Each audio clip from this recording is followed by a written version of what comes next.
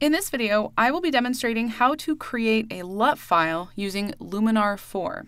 LUT stands for Lookup Table, and it's a way to store color and tone information to use in other photos. It's a very versatile type of preset that works in many different photo and video applications, including Luminar. To do this, I'm going to be using the IWLTBAP LUT generator. That's kind of a mouthful. Uh, that acronym actually stands for I would like to be a pony. So if that helps you remember it, going forward, I'm going to just be referring to it as the LUT generator. The app works in both Mac and Windows. And to get it onto your computer, go to this URL.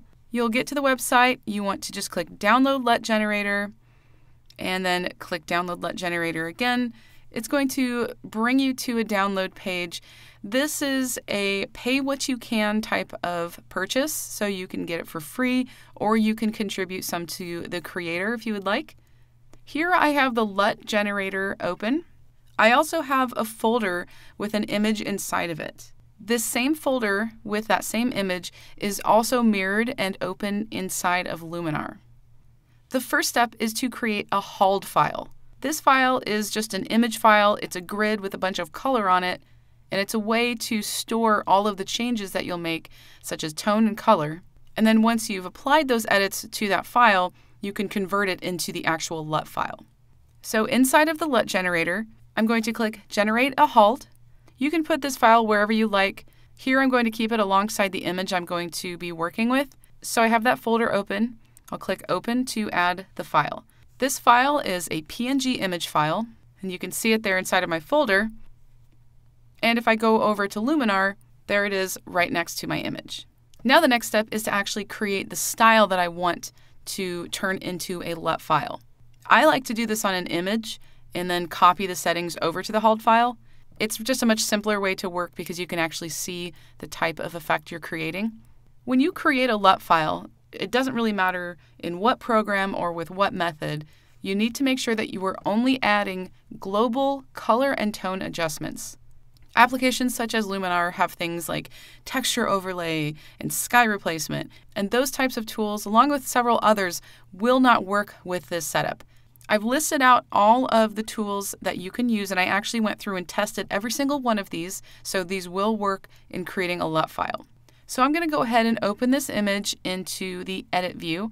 I have it selected and I'll click edit up at the top.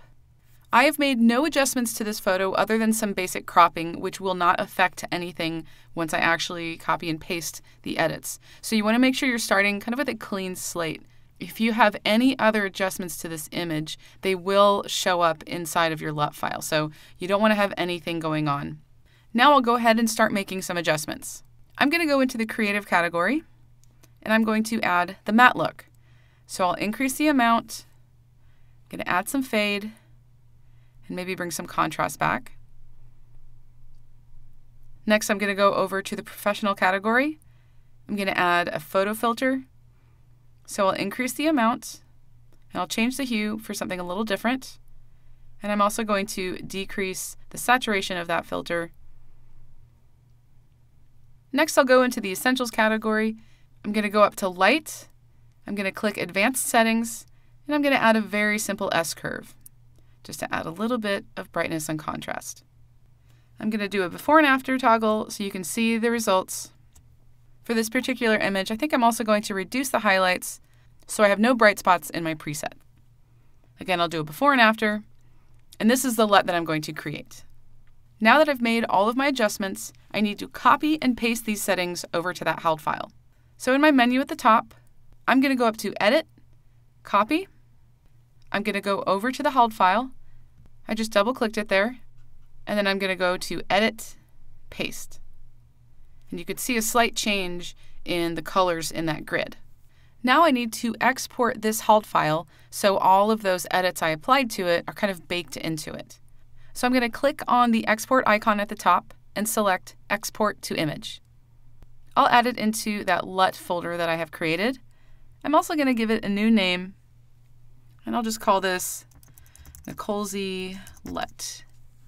In the settings at the bottom, I'm going to make sure I have Sharpen set to None. I want to make sure that the resize is set to the original size so it doesn't change. I want the color space to be sRGB and I'm going to change my format down to PNG. Then I'll click Save. Now if I go back into that folder, there's that PNG file I just exported. So now I'm going to go over to that LUT generator and I'll click Convert to Cube. I'm going to choose that PNG file I just exported and click Open. And here is my LUT file. Now let's preview this LUT file to see how it looks. So here I have Photoshop open on the left, and it's kind of covered because I'm going to add the effect. This is the edit I did inside of Luminar, and I wanted to compare them side by side so you could see how it compares to the edits and the, the tools that I added inside of Luminar. So in Photoshop, I'm going to add the color lookup adjustments. Once I have that tool added, I'm going to go into the properties and I'm going to load a 3D LUT and I'm just going to find that cube file that I just created and click open. So now you can see side by side that the LUT that I created is identical to the edits that I created inside of Luminar.